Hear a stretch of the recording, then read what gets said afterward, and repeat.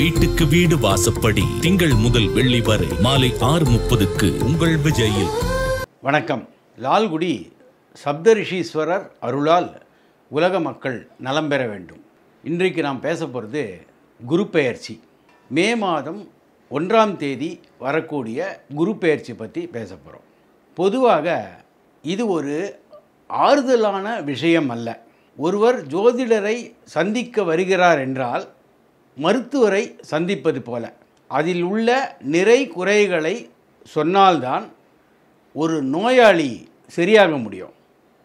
அதுபோல ஒரு ஜோதிடர் எந்தெந்த ராசிக்கு நல்ல பலன் கெட்ட பலனை பிரித்து கொடுத்தால்தான் அந்த நபர் அந்த ஜாதகர் ஓரளவுக்கு எச்சரிக்கையாக இருக்க முடியும்.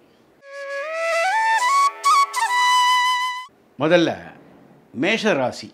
இந்த மேஷ ராசிக்காரர்கள் எந்த விஷயமாக இருந்தாலும் போராடக்கூடிய குணமுள்ளவர்கள். போராடி வெற்றி பெறுவார்கள். இவர்களுக்கு இரண்டாம் இடத்தில் குரு வருகிறது. பொதுவாக குருவாகப்பட்டவர் இருக்கும் இடத்தை விருத்தி செய்ய மாட்டார். பார்க்கும் இடத்தை விருத்தி செய்வார். அப்போது குரு பெயர்ச்சினால அவர் எந்த இடத்தில் இருக்கிறார் என்பது முக்கியமல்ல. அவர் எந்த வீடுகளை பார்க்கிறார் என்பது தான் முக்கியம். சனி பகவான் இருக்கும் இடத்தை விருத்தி செய்வார் பார்க்கும் இடத்தை நாசம் செய்வார். இதுதான் இவங்க ரெண்டு பேருக்குள்ள வித்தியாசம். அப்போது குரு இரண்டாம் இடத்தில் இருப்பதால் மேஷ ராசிக்காரர்களுக்கு தன தட்டுப்பாடு வரும். இரண்டாம் இடம் தனஸ்தானம். தன தட்டுப்பாடு வரும். ஆனால் அவர் ஒன்று அஞ்சு ஏழு ஒம்பது இதை பார்ப் அஞ்சு ஏழு ஒன்பதை பார்ப்பதால் அந்த இடங்க விருத்தியாகும். இப்போ குருவுடைய ஐந்தாம் பார்வை கன்னி ராசியில் விழும். இந்த கன்னி ராசி மேஷத்துக்கு ஆறாம் இடம். அதனால் என்னவென்றால் ஓரளவுக்கு விரோதிகள் குறைந்து போவார்கள் செய்யும் வேலையில் முன்னேற்றம் உண்டாகும். ஐந்தாம் பார்வையாக ஐந்தாம் இடத்தையே பார்ப்பதால் புத்திர விருத்தி குழந்தை பிறக்காமல் துன்பப்படுபவர்களுக்கு துண குழந்தை பாக்கியம் கிடைக்கும். ஏழாம் இடத்தை பார்ப்பதால் திருமணம் ஆகும். திருமண தொடர்பான பிரச்சனைகள் விலகி போகும். ஒன்பதாம் இடத்தை பார்ப்பதால் தந்தைக்கு அனுகூலமான பலன்கள் கிடைக்கும் தெய்வ அனுகூலம் கிடைக்கும். இது வந்து ரிஷபராசியுடைய விசேஷம். மிதுன ராசிக்கு பனிரெண்டாம் இடத்தில் குரு அமைகிறார். பனிரெண்டு விரயஸ்தானம் ஆனால் சுப விரயமாக இருக்கும். சுப விரயம்னா திருமண சம்பந்தமான செலவுகள் வேறு சுப நிகழ்ச்சிகளுக்கான செலவுகள் உண்டாகும். மிதுனத்துக்கு நாலாம் இடமாகிய கன்னியை பார்ப்பதால் வீடு கட்டுதல் புதிய மனை வாங்குதல் இதெல்லாம் கிடைக்கும். ஆறாம் இடத்தை பார்ப்பதால் அவர்களுக்கு இருக்கக்கூடிய நோய் ஓரளவுக்கு விலகும்.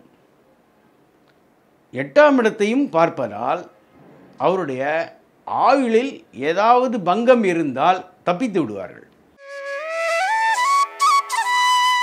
கடகத்தை பொறுத்த வரைக்கும் கடகத்துக்கு பதினோராவது இடத்தில் குரு வருகிறார். கடகத்துக்கு பதினோராவது இடம் பாதகஸ்தானம். அந்த பாதகஸ்தானத்தில் குரு இருப்பதால் சில பாதகங்களை கொடுத்தாலும் லாபங்களையும் கொடுப்பார். இப்போ பாதகம் என்றால் என்ன? பதினோராவது இடம் மூத்த சகோதர ஸ்தானம். மூத்த சகோதரர்களோடு சில கருத்து வேறுபாடுகள் உண்டாகும். மற்றபடி கடகத்துக்கு அதிகமான தீய பலன் கொடுக்க மாட்டார். சிம்ம ராசிக்கு பத்தாம் இடத்தில் குரு இருக்கிறார். பத்தில் குரு பதவிக்கு ஆபத்து. கௌரவமும் ஓரளவுக்கு கண்டிப்பும் உள்ள சிம்மராசிக்காரர்களுக்கு தொழில் முறையில் சில பிரச்சனைகள் வந்து நீங்கும். முழு பிரச்சனை என்று சொல்வதற்கில்லை. ஆனாலும் தான் வேலை செய்யக்கூடிய பணிபுரியக்கூடிய இடத்தில் ஏதாவது ஒரு பிரச்சனை உண்டாகி விலகும். கன்னி ராசியை பொறுத்த வரைக்கும் அவர் எட்டாம் இடத்தில் இருந்தவர் ஒன்பதாம் இடத்திற்கு செல்வதால் சில நல்ல பலன்கள் உண்டாகும். ஒன்பதாம் இடத்தில் செல்வதால் அவர்களுக்கு வெளிநாட்டு பயணம் வெளியூர் பயணம் இது போன்ற நல்ல பலன்களை உண்டாக்கி கொடுப்பார். கன்னிக்கு பாதகாதிபதியாக குரு ஆவதால் அந்த பிரயாணத்தில் ஏதாவது சிறு இடையூறுகள் உண்டாக வாய்ப்பு உண்டு. துலா ராசி பொறுத்த வரைக்கும் துலா ராசிக்காரர்கள் பொதுவாக எந்த ஒரு விஷயத்தையும் ஆராய்ச்சி செய்து முடிவு செய்யக்கூடியவர்கள். இந்த துலா ராசிக்கு எட்டாம் இடத்தில் குரு வருகிறார். பொதுவாகவே எட்டாம் இடம் அவ்வளவு விசேஷமான இடம் அல்ல அதுவும் ஒரு மறைவு ஸ்தானம்தான். அந்த மறைவு ஸ்தானத்தில் குரு அமர்வதால் குருவுடைய கருணையான பார்வை கிடைக்காமல் போகலாம்.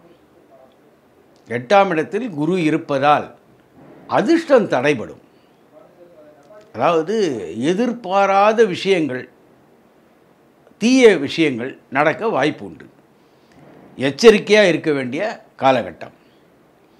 துலா ராசிக்காரர்களுக்கு கிடைக்க வேண்டிய பதவி உயர்வு தடைபடும். அலுவலகத்தில் எதிர்பார்த்த அளவு வருமானம் கிடைக்காமல் போகலாம். அல்லது சிலருக்கு வேலை இழக்கக்கூடிய வாய்ப்பும் வரும். இதுதான் வந்து துலா ராசியுடைய பலன் குருபெயர்ச்சி பலன். உன்னதமான ஆண்டு ரிச்சிகராசிக்கு தான். குருவின் நேரடி ஏழாம் பார்வை ரிச்சிக ராசியில் விழுது அப்போது ரிச்சிக ராசிக்காரர்களுக்கு விசேஷமான பலன்கள் கிடைக்கும்.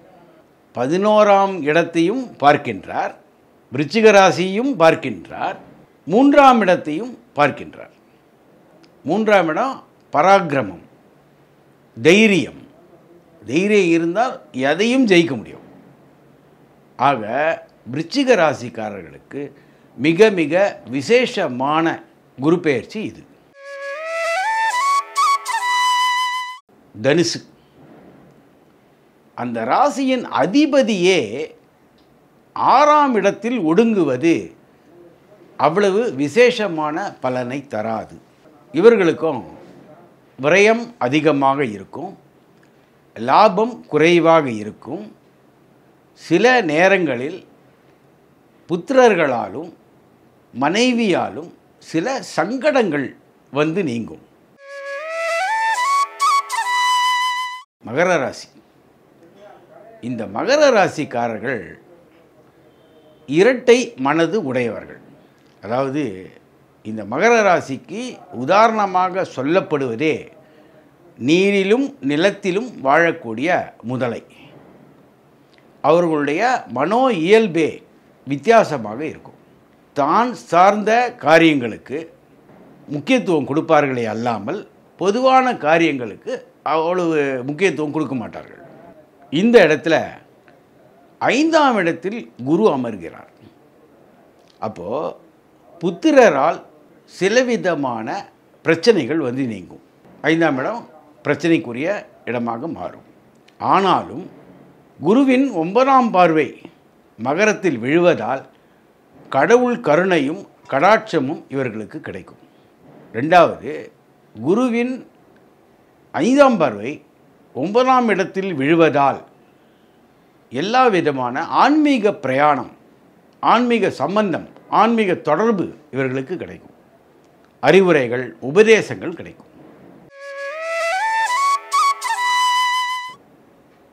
கும்பராசி இவர்கள் குடும்பம் விளங்க வந்தவர்கள். கும்பராசியில் பிறந்தவர்கள் அந்த குடும்பத்துக்கு நல்ல பெயரை வாங்கி கொடுப்பார்கள். கும்பத்துக்கு நாலாம் இடத்தில் குரு அமர்கிறார். அப்போது நில சம்பந்தமாக வீடு சம்பந்தமாக வாகனம் தொடர்பான பிரச்சனைகள் வரும். கோர்ட்டு கேஸு உண்டானாலும் ஆச்சரியப்படுறதுக்கு இல்லை. காரணம் இவர்களுக்கு பாதகஸ்தானமாக அமைவது துலாம். ஆக கோர்ட்டு நீதிமன்றம் வழக்காடு மன்றங்களில் இவர்களுக்கு நிலம் சம்பந்தமான தொடர்பான பிரச்சனைகள் இருந்தால் அதில் தடையும் தாமதமும் உண்டாகும். மீனராசி. மீனத்துக்கு மூன்றாம் இடத்தில் குரு. மூன்றாம் இடத்தில் குரு அமைந்தாலே தன காரியங்களில் தடை ஏற்படும். இவர்களுக்கு வந்து சேர வேண்டிய பணம் தாமதமாகும். இவர்கள் கடன் கொடுத்தாலும் திரும்பி வராது. இவர்களுக்கு வரவேண்டிய முன்னேற்றம் தடைபடும்.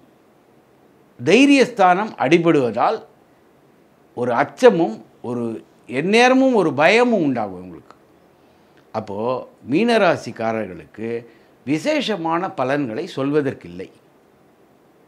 இதுதான் வந்து குரு பெயர்ச்சியுடைய சாராம்சம்.